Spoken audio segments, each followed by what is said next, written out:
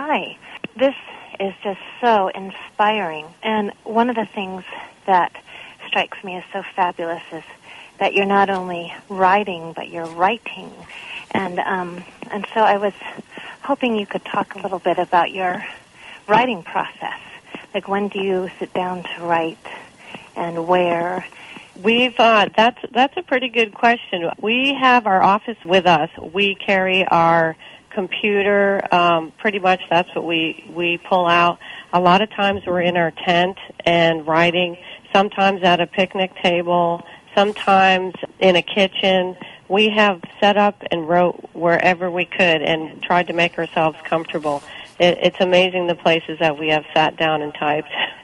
I miss the days of having an office where you, you come back to the same place and you can work on the computer and write at the same place. But we just don't have that. We live nomadically, so it's a park bench and, uh, like Cindy said, the tent often. The rainy rainy nights in the tent are big. Pull out the computer and do some things on the computer. Times um, it's often on battery. We're usually working until the battery goes dead, and then we charge it the next day at a laundromat or a grocery store or something like that.